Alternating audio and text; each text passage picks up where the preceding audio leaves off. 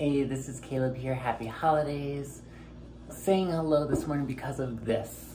Um, the Ithaca Murals coloring book, first edition, that I'm so excited about. And um, I have an ask. Wondering, um, in the same way that we did with the beautiful Ithaca Murals map, um, would love to get sponsors, um, like we did there um, on the map.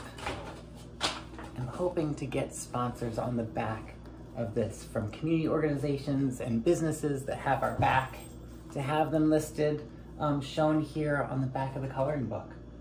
I've already started coloring in mine.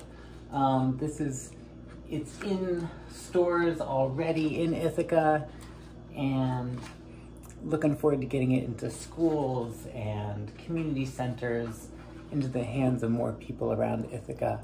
So let me know it's possible.